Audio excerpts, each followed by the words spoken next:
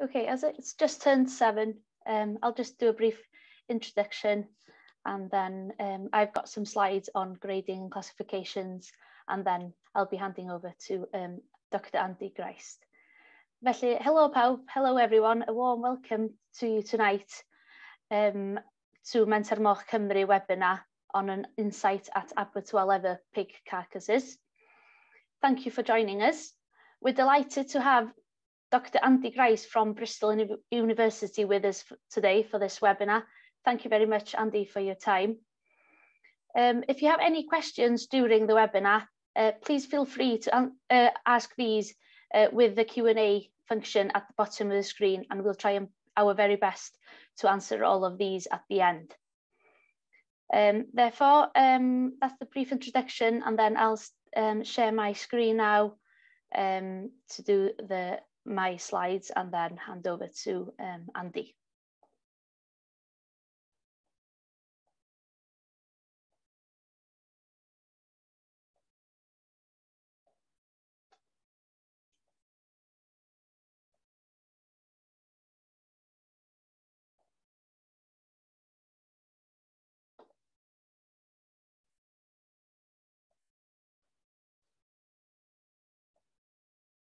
Put my camera off just to have some more, um, to make sure my Wi-Fi is clear throughout. Uh, therefore, just a basic introduction on grading and classification to start with.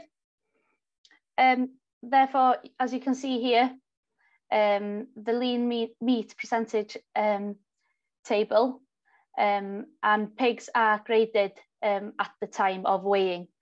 Um, usually this is about 45 minutes um, after they've been slaughtered. Uh, the basic functions of the grading scheme are to make uh, price quotations comparable throughout all EU member states, enable accurate monitoring of the market situation, um, and to enable producers to be rewarded for producing the carcasses that the market requires. And uh, lastly, to establish an average price for pig carcasses for reference um, price calculations. Um, and all abattoirs that slaughters more than 200 pigs a week are required under EU rules to classify pig carcasses.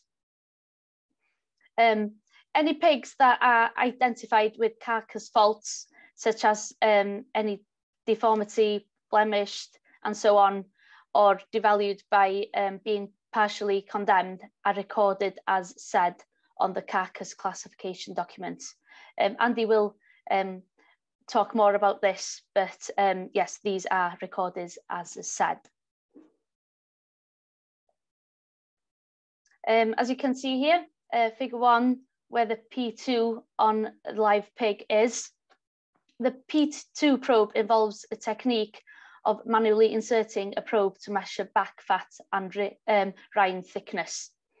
Um, and uh, yeah, the carcass is graded according to the depth depth of the back fat at the P2 position along the loin. Um, and as you can see here, um, it is here where the P2 is um, measured. Um, carcasses are graded to give a prediction of the amount of meat which can be sold from it. Um, factors that contribute to increased back fat, um, these may um, be excess intake or irregular intake of feed, pigs fed the wrong diet. Um, season can affect this too, um, or maybe poor feed ingredient quality. There are many more factors too, but um, these are the main ones I um, noted here. Um, the um, carcass dressing, as you can see here, there is um, two methods of pig carcass dressing in the UK. Uh, the EU specification and the um, UK specification. Before weighing the carcass, the following must be removed from the um, EU specification.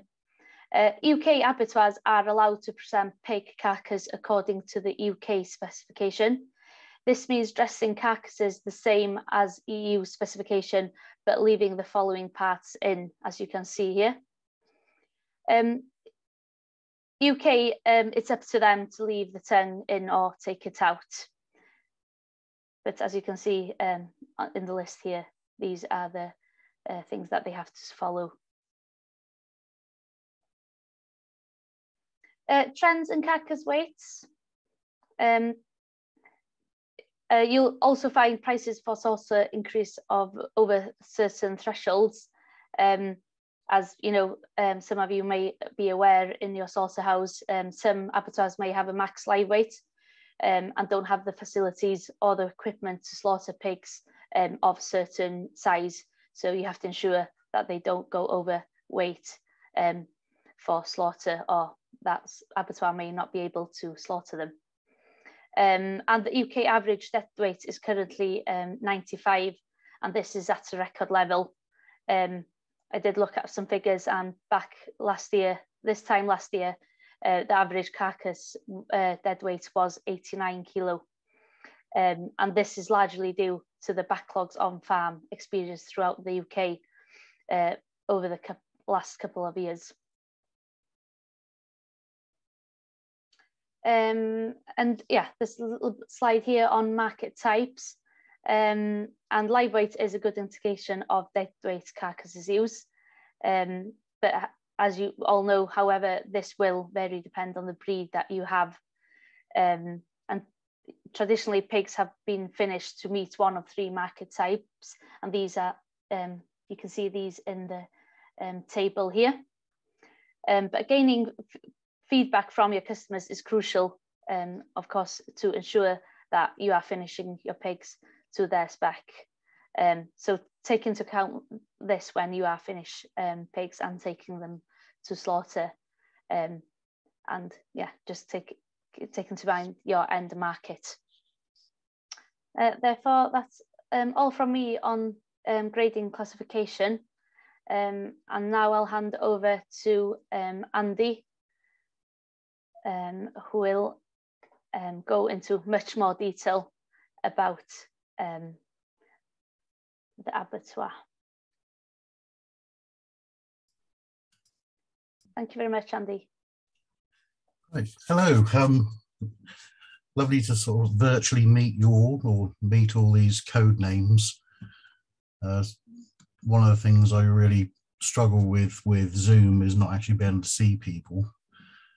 Um, my name is Andy Grist and I work at the University of Bristol, which makes it sound a bit like the start of an Alcoholics Anonymous meeting. And I was asked if I'd come along and actually just have a, a brief overview of what happens at abattoirs and things that you can do to try and reduce any wastage from the animals you've spent time rearing it will be reasonably quick because there's quite a lot to get through. But I have said to Ellen that um, she's got my email. I am more than happy to answer questions if you think of them later on and you want to email me. So it's not just a question of you've had your half an hour and that's it. So what we're going to look at is trying to look at it in stages because quite a few of you will be having the meat back or getting it sent to butchers, we need to understand what has to be done to send the animals into the abattoir, what's causing variations in meat quality, and then some of the reasons for condemnation. Not sure how much help I can be on how to avoid it, but we can avoid some things. And then the tests that are done on the carcasses in terms of public health and animal health. So requirements for sending pigs to the abattoir. Firstly, an abattoir that'll take your size pigs. That's kind of a given, but becoming more difficult nowadays as we're losing smaller abattoirs and the larger abattoirs don't always want to take private kills but we do need to be aware of the law in terms of transport for these animals, movement licenses, and identification. Because all of these can mean that an animal that you spent time rearing can be rejected at the abattoir. So transplantation law, it's a very stressful experience for the animal they're not used to the floor moving, they're not used to being confined. They do actually suffer from travel sickness. So what we want to do is try and keep the transport as short as possible. Some animals will die due to the cumulative stress of transport. So the longer we transport them, the more stress we're putting that animal under. Not only can they die, we can actually affect the meat because they're not being fed during transport. So because it is such a stressful experience, there is law and it is very prescriptive. And it's enforced by local authorities, so animal health in each area. They actually have the power to stop and inspect any vehicle carrying animals at any point. And if the OV considers an animal's being stressed by transport, they can report themselves and they are supposed to do so. So knowing the law is important. Now, welfare of animals transport is probably one of the most detailed laws that there are. If you're having trouble getting to sleep, get hold of a copy. You'll probably get as far as stocking densities and be away with the pixies but there are prescribed stocking densities for the animals. But one of the main things that it deals with is whether the animal's fit to be transported. Because the actual act of transporting an animal itself is stressful, if the animal's not fit for that journey, we are increasing the stress. So, in particular, we should not be transporting animals if they're unable to move independently without pain or walk unassisted. So, a lame animal. Most of the animals don't normally lie down in travel. And they're going to be spending their time moving from side to side on a lame leg. It's going to be painful. If they have an open wound or a prolapse, they shouldn't be transported and if they're pregnant females. Females are given birth the previous week or young animals, so normally under seven days old. When we refer to pregnant animals, we actually think of the last 10% of gestation. If the OV suspects in a plant, they are supposed to contact trading standards and let them know. So we recognize that transporting animals is going to be stressful. We have detailed law as to what can be transported, what can't be transported. And it does say that if there's any doubt, you should contact your vet and ask them their opinion as to whether that animal can be transported. You're also allowed to contact the official veterinarian in the plant and ask what they think. But it should be your vet you contact first.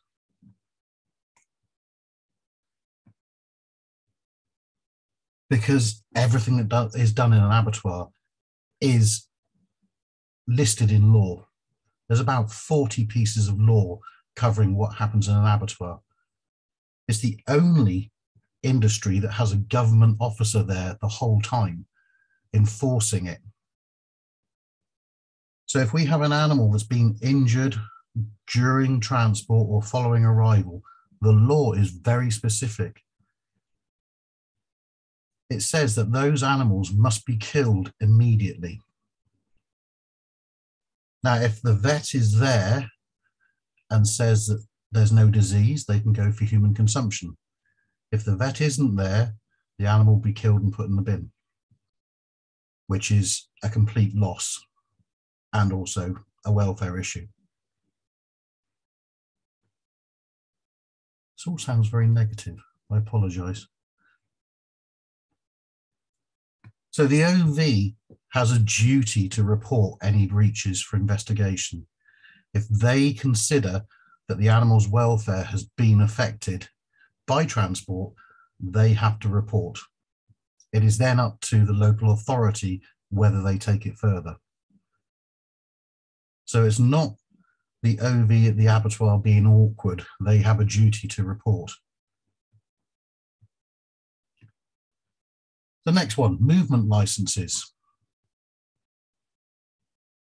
Most of you are used to this. Pig movements are reported electronically using the EMA, EAML2 system.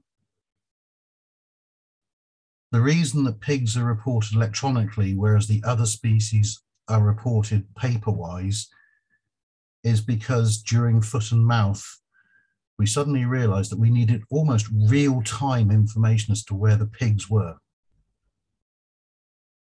So they are an electronic movement license.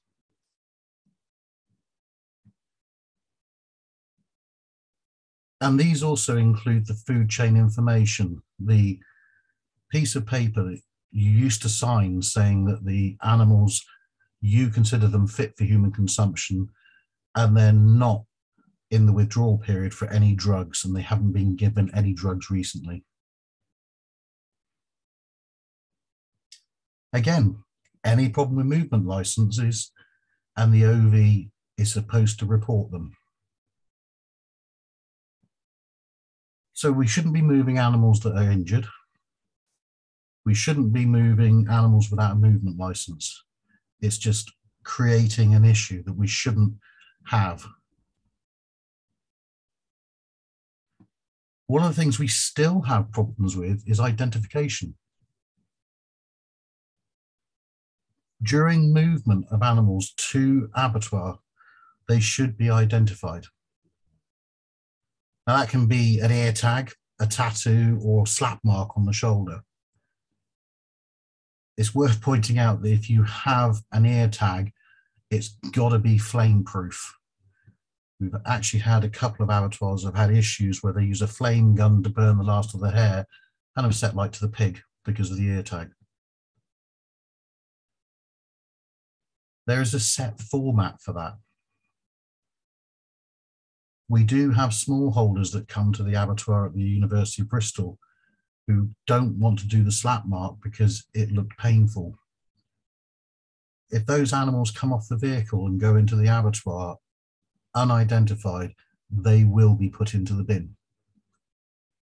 So it's a question of which is worse. They should be identified before they're moved. So all pigs under a year moving to slaughter or market must be identified, and all pigs over a year old moving anywhere should be identified by either an ear tag, tattoo, or double slap mark.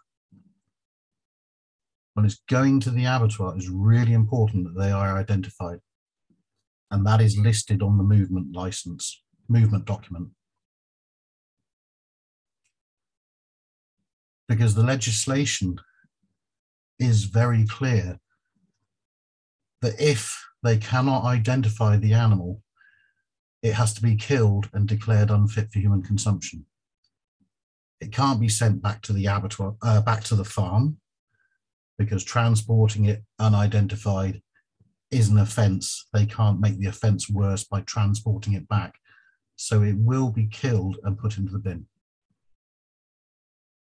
So it's little things that we can do to try and reduce losses of animals you spent time rearing.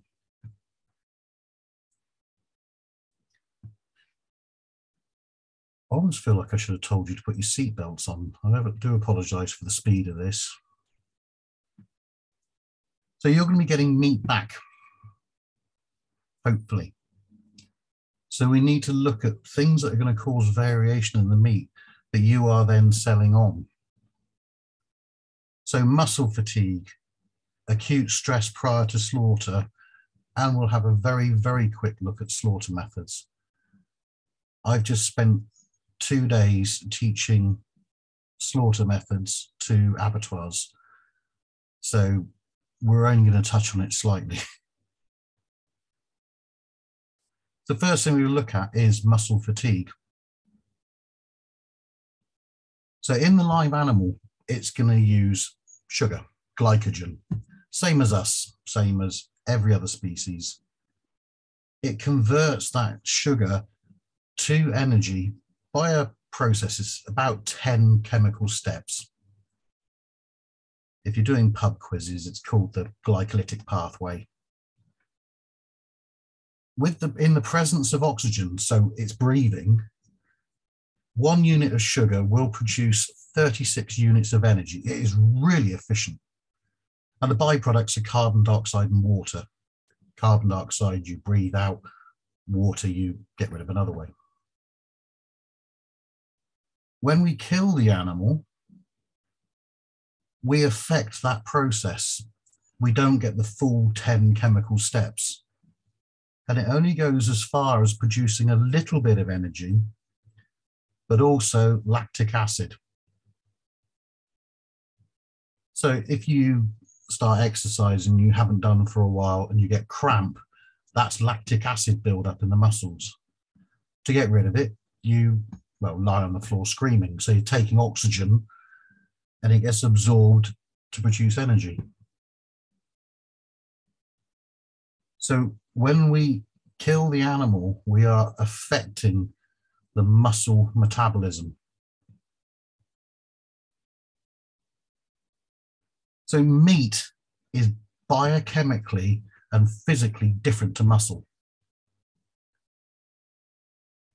Live animal muscle is around 7.4 pH. Most of the body is 7.4. Obviously, stomach acid, bile isn't, but the rest of your body spends a lot of time trying to stay at 7.4. It's where the nerves work best, the brain works best, enzymes work best. When we kill the animal, that acidification that occurs in the muscle will take it down to about 5.5. Once it gets to 5.5, the enzymes stop working. So at the very least, meat is more acidic than muscle.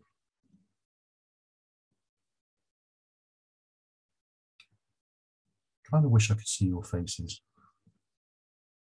So when we kill the animal, we are going to make the muscle more acidic and it will then produce meat. And it takes time. And it will drop, well, we like curves because we're at a university. And this is what we call a normal pH fall. If every pig does this, the meat will be the same color. So this is normal We've got plenty of energy, and over 24 hours, it will drop to 5.5. It takes time. So this is nice and simple. If for any reason we exhaust the animal, no energy in the muscles, so we could transport it for a long time.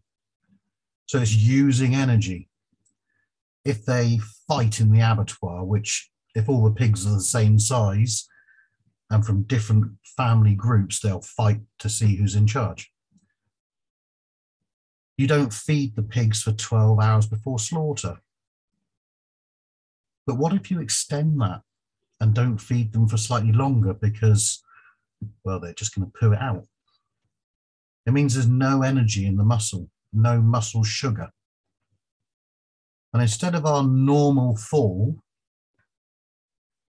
that's when we get dark, firm and dry pork. So the muscle is exhausted before slaughter and we don't get that post-mortem change. And the pH will be up around 6.5. Now, the first problem that we have with this is it's obviously a different color. And if the consumers are looking for normal, anything that's a different color, they automatically assume comes from an older animal. And they won't buy it. It's also dry. It is firm. And because the acidity of it is still near seven, bacteria love it. So when we make meat more acidic, we actually stop certain bacteria from growing on it and it takes longer to spoil. DFD pork will spoil quite quickly just because the pH is near a seven. So exhausting the muscle for any reason, lack of food, long transport, fighting before slaughter, will give you dark, firm and dry pork.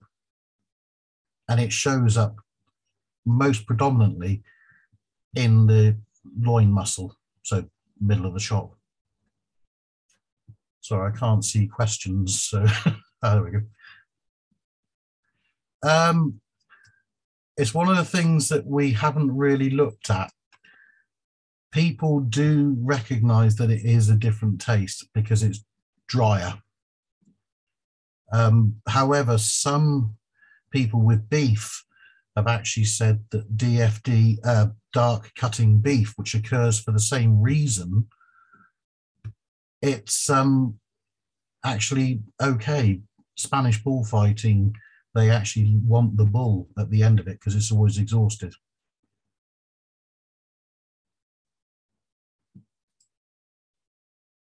The other thing that we can have with pigs, because they are stress susceptible, is you can have acute stress just prior to slaughter. So dark meat, it's difficult to work out where it happens. It could be on farm because of not feeding in the last period. It could be long transport. It could be fighting in the abattoir whilst waiting. But if we got acute stress the last four minutes before slaughter, we then have a situation where we have a pig that's got loads of energy. We got that bit right. So it's not going to go dark. But if we upset it just before slaughter, you get all those fight or flight hormones working. So it's either going to have a fight or it's going to run away, or both. And everything is working at full speed, and then we kill it. So rather than our normal fall, it drops like a stone in about 45 minutes. It will still stop at 5.5 because everything stops at 5.5, but it just gets there too quick in a hot carcass.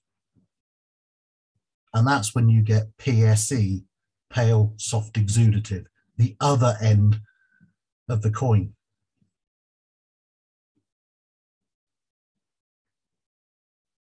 So we've got these three options. You want everything to be in the middle.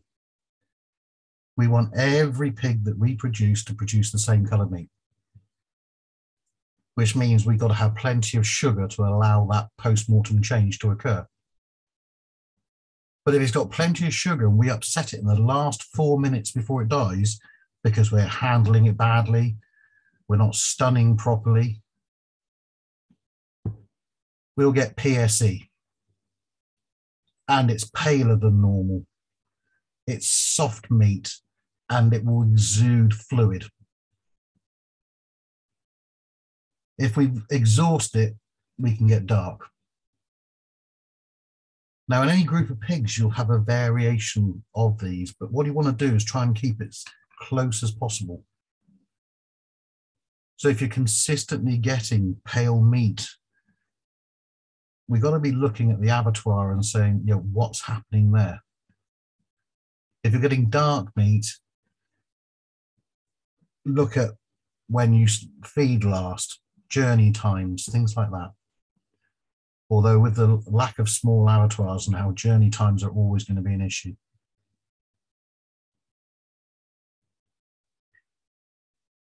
So as I said earlier, I've spent two days just talking about slaughter methods with abattoirs. It's a very technical thing that's kept me off the streets rather than employed for the last 13 years. There are only a few methods of stunning an animal prior to slaughter, and obviously pigs have to be stunned. We got electrical head only stunning, electrical head to body stunning, controlled atmosphere stunning, and penetrating captive bolt pistol. That's basically what we've got. We're going to look at the first three because penetrating captive bolt is generally only used as a backup in case there's a problem or for emergencies. Because if we use a penetrating captive bolt, they are very effective on pigs, but they kick immediately. It's a good sign that it tells you you've taken the brain out. It's no longer controlling the spinal cord, but they kick so violently that they'll cause blood splash, bruising, they can break bones. So for commercial use, penetrating captive bolt isn't used. One of the main one that's used in smaller abattoirs is electrical head only stunning. And they will use a set of tongs that are electrically live and it passes a current across the brain. There's a minimum current in law, 1.3 amps. So you've got 13 amps coming out of the plug socket.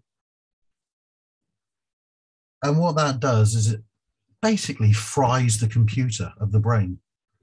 It overstimulates all the brain and it produces a, a state of epilepsy where every neuron in the brain is firing.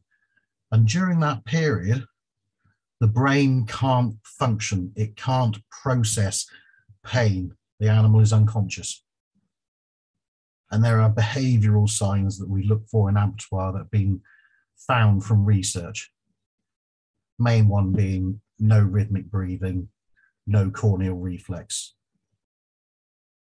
So during that period, whilst it's epileptic, we will bleed the animal, normally by a a chest stick, thoracic stick. And that kills the animal due to lack of oxygen going to the brain.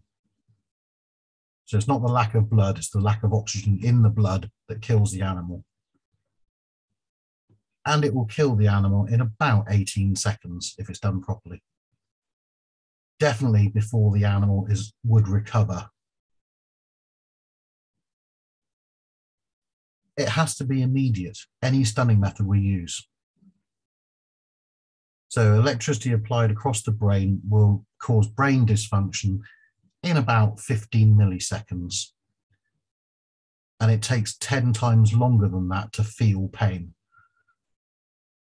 So it causes brain dysfunction before the animal can feel it, and the animal legally is not allowed to recover. Another system that can be used is head to body. It doesn't tend to be used with pigs so much.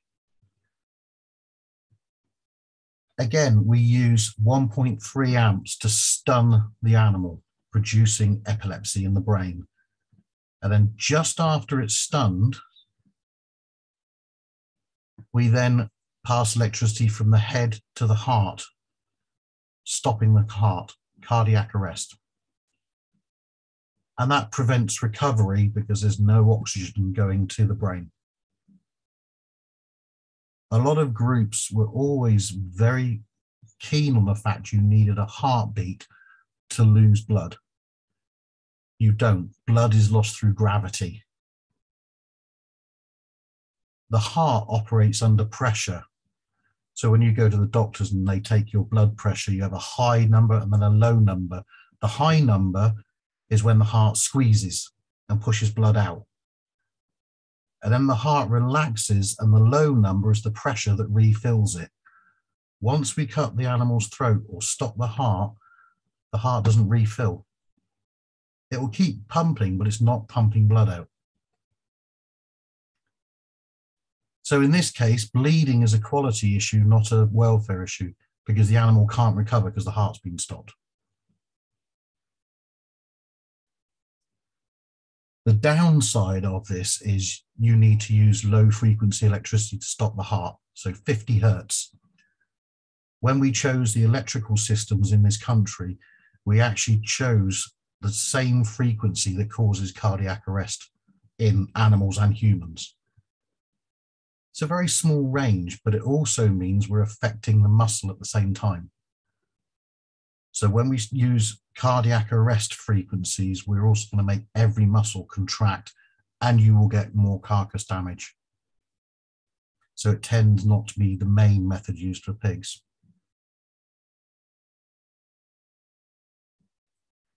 The larger abattoirs, and we're talking about 83% of the abattoirs in the UK and Wales that do pigs will use controlled atmosphere stunning. Now, this has been looked at a lot recently. It allows group stunning, so we don't have to get pigs into single file. It means that we can do quite high speeds. It avoids human contact. Pigs in these abattoirs are moved by moving walls rather than having humans, and they don't react so badly, so they're less stressed. Carbon dioxide, which is the gas that's used, actually kills by acidifying the body. So we reduce the pH of the spinal cord and the brain from 7.4 down to 6.8, and that kills it. But because it affects the brain and the spinal cord at the same time, they don't kick when they're unconscious. So that improves quality. All the other methods, you will get kicking because the brain is no longer controlling the spinal cord. So there is a huge improvement in product quality. But we have known for some time that carbon dioxide is noxious. It's the one gas that we and animals can detect physiologically because it's the one gas our bodies are designed to get rid of.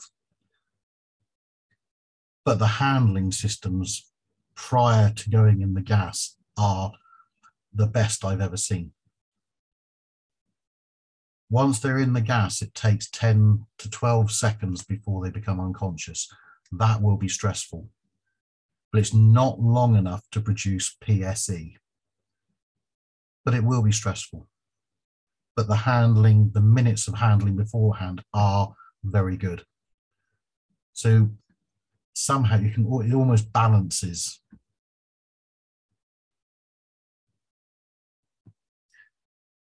So whilst I'm doing my flying whistle stop tour, reasons that carcasses are rejected. Probably a good time to say there's a very good book you can buy. I wrote it that says why stuff's rejected, but I'm not going to do that because it costs money. There are basically only three reasons any carcass is going to be re rejected in an abattoir. A legal, straightforward legal reason it doesn't comply with this. Or pathogenic, it's going to make somebody ill or has the potential to make somebody ill. Obviously, that's the main reason for rejecting any meat as unfit. But surprisingly, a lot of the meat that is rejected in abattoirs is for aesthetics. It doesn't look right and a lot of the product that is rejected is rejected for that. And we're going to look at some of the conditions that we do get in abattoirs. It's not going to be all of them because I could keep you here for a couple of days doing that, but just some of the main ones that we see. So the legal, well, we've been through these. If it has experienced pain or suffering following transport or arrival, it must be killed immediately. If the OV hasn't seen it, it will go in the bin. Same as if it can't be identified. If any animal is killed without being seen by the official veterinarian alive, it will go in the bin. And weirdly, that still happens in some abattoirs. It's a mistake, but there's no option. It doesn't matter how wonderful the pig is afterwards when they look at the insides. If it's not seen alive and signed for by the vet, it is unfit. And if it has residues of veterinary products in it, it is unfit. So these are cast in stone. We're going to talk about trichinella at the end, but it hasn't occurred in this country naturally since 1953. So things we find. This is looking down the vertebral column. And this is a pig that had tail bite. Obviously it's something that pigs do, especially if they're bored. But if you have a tail bite, the law has always been very specific. We must split the carcass.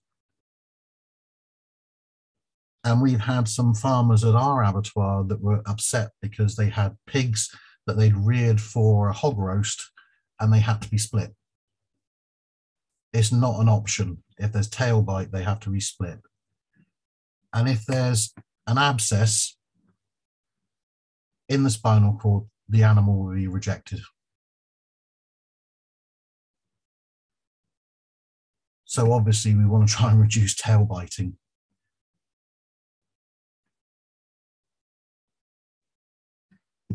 Other pathogenic things, this is almost like a what I did on my holiday photograph session.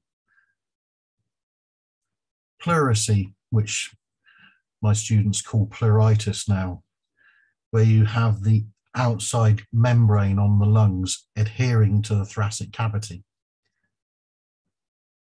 Obviously, this is painful for the pig. It doesn't, in terms of meat quality, tend to be an issue. They will strip the pleura from the inside of the chest cavity. If they can remove it, then the carcass is okay. They just reject the affected part, so the pleura and the affected lungs.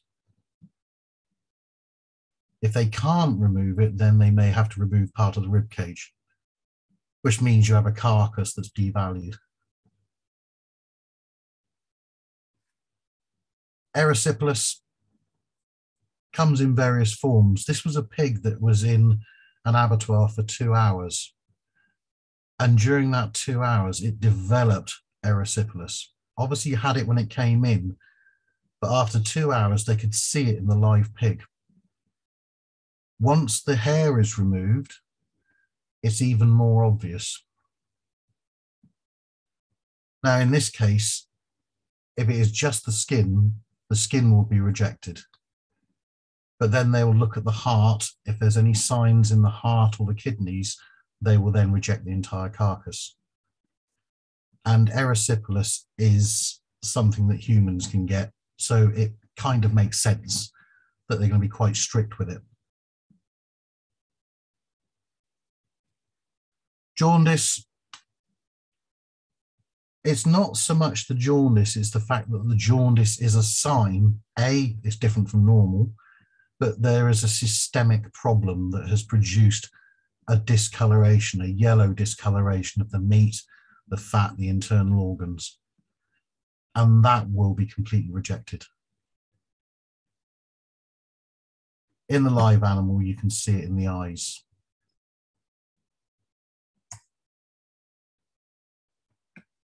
We can also have part rejections. one of the most common rejections we have in pigs is pneumonia. And we've actually found over the years that transport itself is so stressful, it can bring on a pneumonia in the pig during transport. In these situations, it is normally just the lungs that are rejected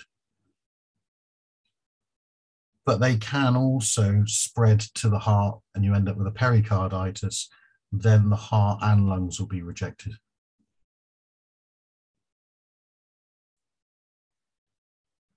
Arthritis, so here, looking at your left, the animal's right joint, foreleg joint is swollen. So this is telling the OV that this animal may have had an issue during transport was it able to walk properly? Opening the joint in this one, we can see there is quite a strong inflammatory reaction going on. So firstly, it was painful to the animal. Then the OV is going to question, was any treatment given that hasn't been listed? If the farmer noticed. And then we also have the situation that that affected part will be rejected. So they'll remove up to the next available joint. If we have a carcass that's got multiple arthritic joints at the front and back, then the whole carcass can be rejected.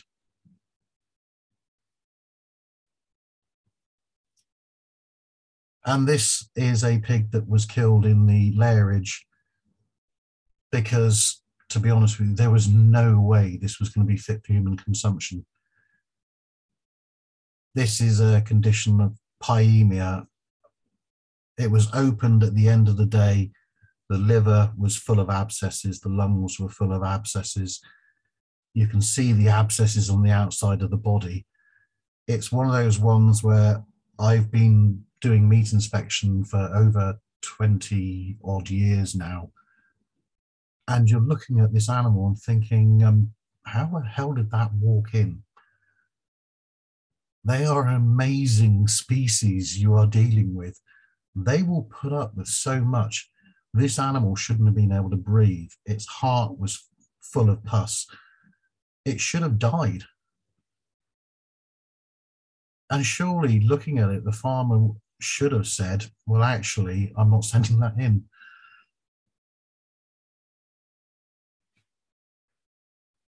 Septic peritonitis. So we have obviously the peritoneum is inside the abdominal cavity. It lines the abdominal cavity. And one of the nice things about pigs is when they get a septic peritonitis, it goes bright red. And this septic peritonitis came from a hernia, a strangulated hernia. So you can transport a pig with a hernia. It only becomes an issue if it's dragging on the floor and ulcerated, then it becomes a open wound and you can't transport it. Now we all know pigs get hernias. There's almost like a good size for a hernia. You want it big enough so I'm not saying telling you to grow hernias, but if it's too small, the intestines can go in and block you get a strangulated hernia, and then an infection sets in, and you get peritonitis, and the whole carcass is unfit. Plus, you have an animal's in excruciating pain. But if the hernia is slightly larger, the guts can go in and out, and there's no issue. So, weirdly, there is such a thing as a good sized hernia. But what we want to do is not have any. So a hernia itself, unless it's infected, will just be rejected for aesthetic reasons, but it will be rejected from the carcass.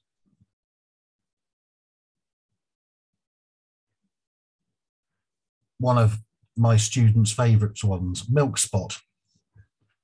The actual technical term is chronic focal interstitial hepatitis because, well, they're vet students, they're going to be paid by the syllable. And it's more accurate. But milk spot is such a beautiful description. It's scarring left by the migration of the larva of the pig roundworm, Ascaris suum. Now, you can't get it from eating it. It's rejected because of aesthetics.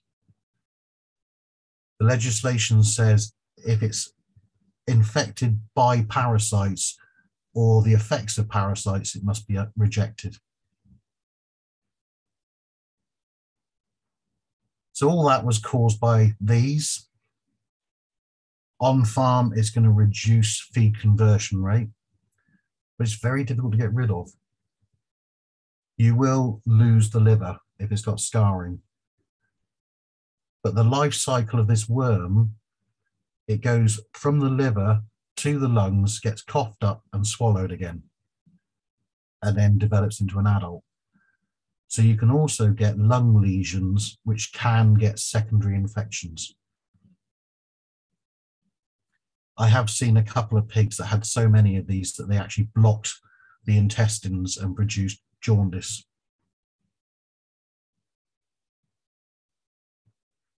Fight marks. Pigs, where they don't fight during transport because it's too novel and stressful. When they get to the abattoir, they'll spend about 10 to 15 minutes mooching around, looking at all the strange things. Then, after that period of time, they'll look at each other and say, Right, who's in charge? And they'll fight to sort out dominance, unless they've already done it on farm. But if you send pigs from different pens because they're the same size and that's what you want, they may fight in the abattoir. And because they're the same size, they can fight until they're exhausted. The a skin, if it's badly affected like this one, will be rejected as unfit for human consumption for aesthetic reasons. But also, you've got a pig that's been using energy just before slaughter, so it's likely to go dark as well.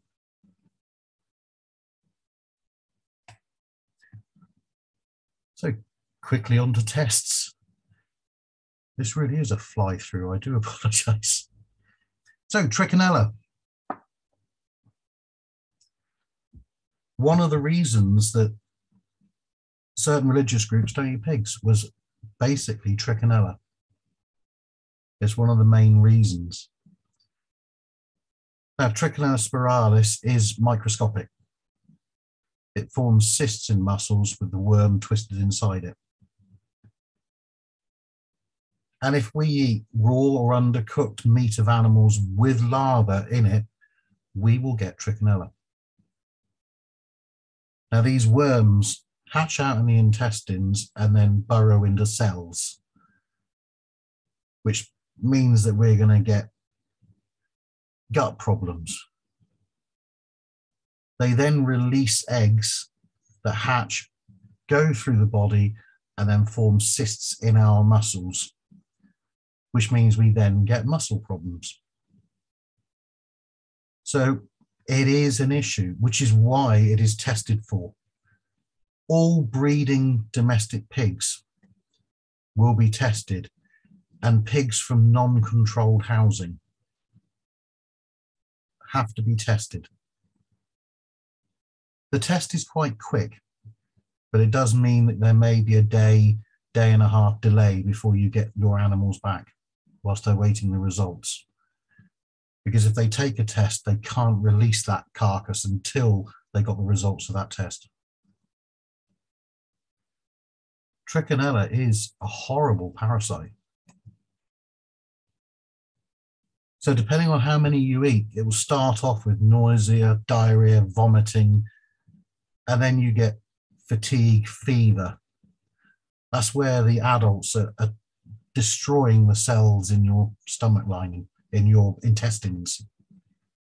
And then as the larvae migrate through the body, you get headache, fever, chills, you can get cough if they go to the lungs, swelling, edema in the face, and then aching joints and muscle pain.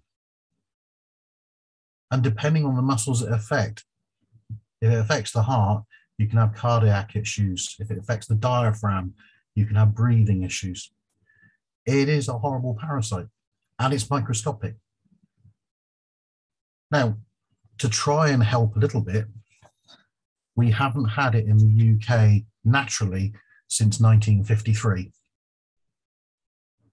But we still have to test. It is present in Europe, not present in the UK.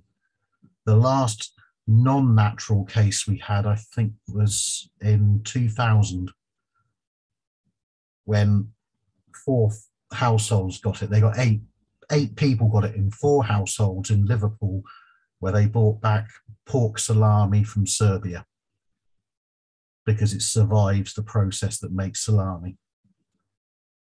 But naturally occurring 1953, but we still have to test. So samples of meat from the diaphragm will be taken from the pigs and sent for specific tests. They basically digest the muscle and look for the cysts with a microscope. The other test that's done is residue sampling. Now, this is done at random throughout the month in every abattoir. And it's comes uh, basically each abattoir is told how many samples to take each month and what species to take it from. And this is purely to see if there's any unauthorized veterinary products in the meat. You're asked to declare if you've given any drugs and whether it's gone past its withdrawal period. This is just a counter check. And it is done on a random basis.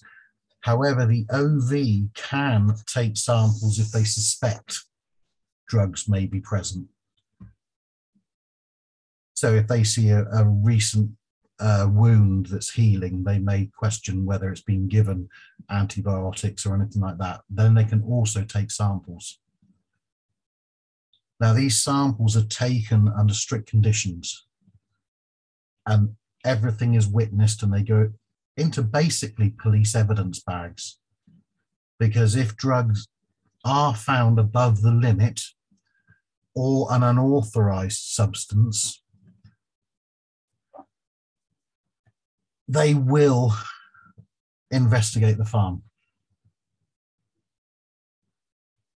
and try and work out whether it was a genuine mistake or whether it was a problem. And we have had problems in the UK with, especially with our ability to order things online. Just because it's legal for use in somewhere like the USA doesn't mean that it's legal for use in the UK. So again, you know, talk to your vet. It may, you may be able to get something that does the same thing cheaper from elsewhere, from abroad, but it may be cheaper for a reason. And it may mean your carcass is rejected and you're investigated and possibly prosecuted for it.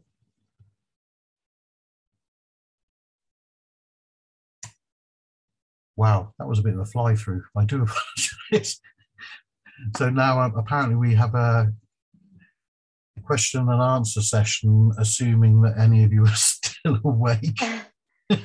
Great, thank you very much for that brilliant, yeah, overview of um, the abattoir.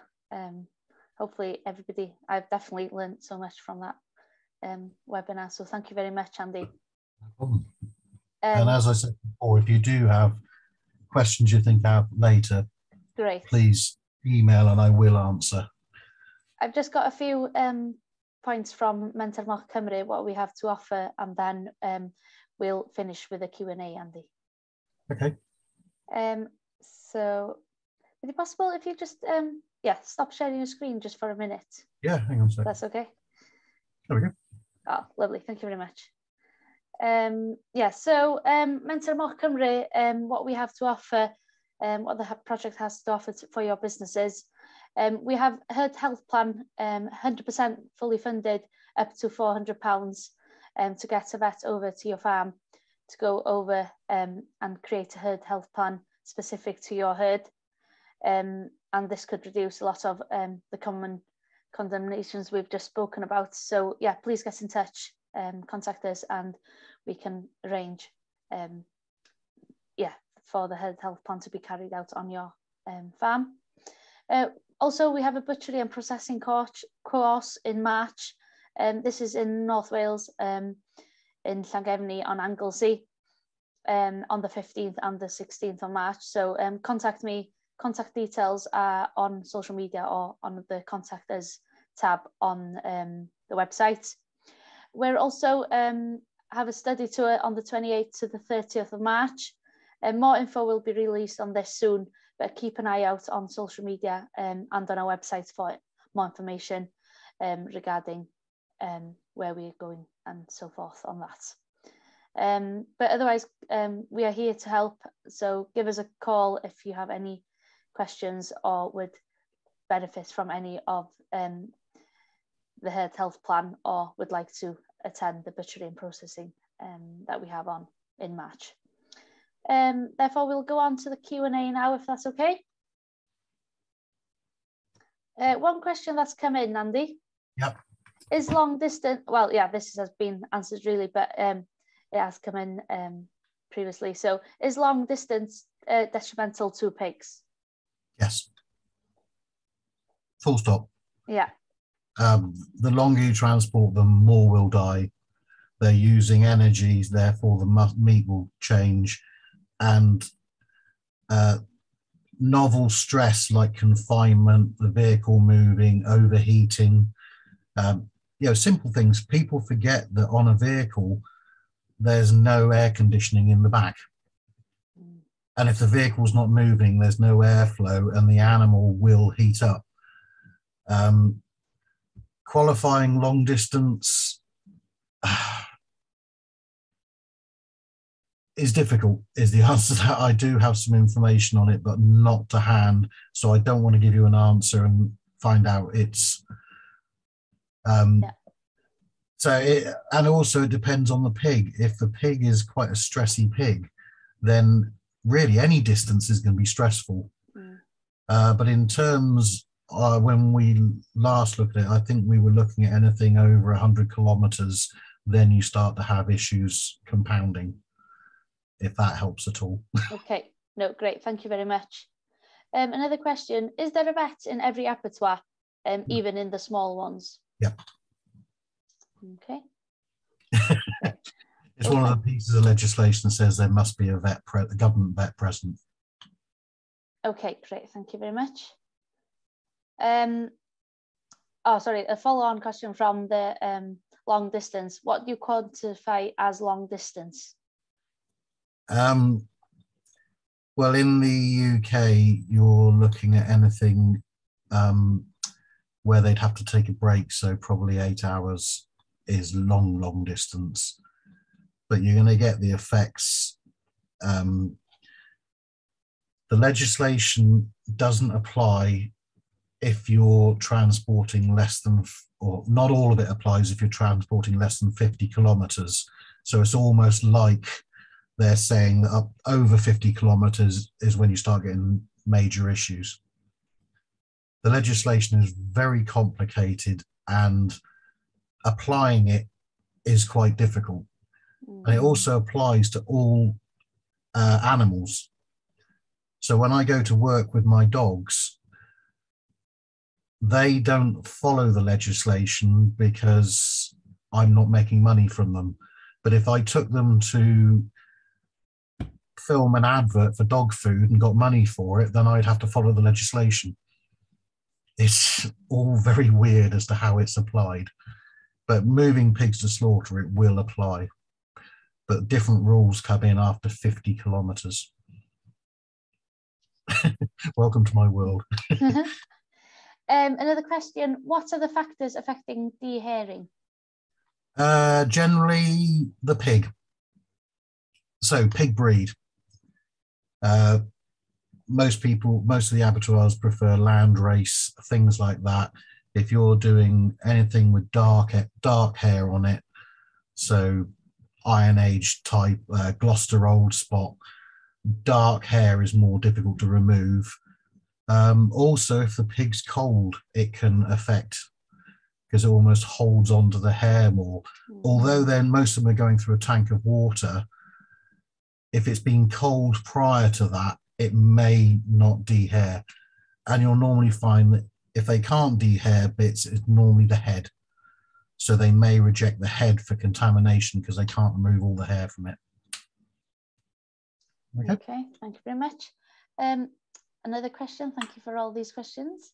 Um, can you give a quick refresher on the clonic tonic, uh, tonic extractor stages of stunning? Yeah, um, when you first apply electrodes or anything like that, you will get a tonic phase where the forelegs are extended, hind legs are pulled in, it's all tight. And that generally, with electricity, lasts for about 10 seconds. And then it will start uncontrolled physical activity. It's a bit like you taking a head off a chicken. All the time, the brain is controlling the spinal cord. If you take the brain out successfully, you will get enhanced spinal reflexes, so kicking. So that's the clonic phase. The thing is, you won't have rhythmic breathing during both phases.